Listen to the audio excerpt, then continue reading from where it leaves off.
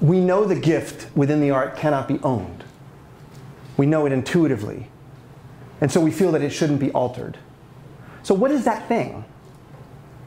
What is that thing? I want to talk a little bit about the idea of giving and gifts in traditional cultures. And I, I gave you that timeline a little bit back, and I said that the human lived for 95, 99% of its history in small, nomadic cultural groups in which giving of gifts had some very specific frames and ways about it. so one of the things I'm going to suggest here is that cultural symbiosis is a kind of is shows up as reciprocity. And I'll tell you what reciprocity is. First, there are three obligations found in all traditional societies. There's an obligation to give. There's an obligation to receive a gift. So you actually aren't allowed to say no thank you. You actually have to receive. And there's an obligation to reciprocate. Now, if you think about what happens there is if I say, Jonah, man, you're so incredibly styling, I just really want to give you this hat.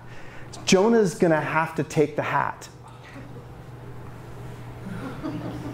And now what happens now is Jonah has an obligation to reciprocate. He doesn't have to reciprocate to me. This is a really key point.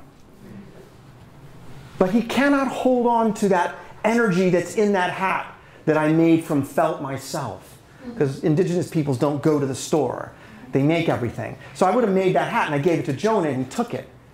Because I love Jonah. And now Jonah's like, wow, I got this cool hat. And then now Jonah's going to gift someone else. And what it does is it establishes connection and obligation, not in a bad sense though. It's this feeling, it's an energy, and I'm gonna try, I'm trying to connect the gift of the thing I created and gave him with this idea of something which can't be bought and sold. So, gifts among indigenous people carry a life force.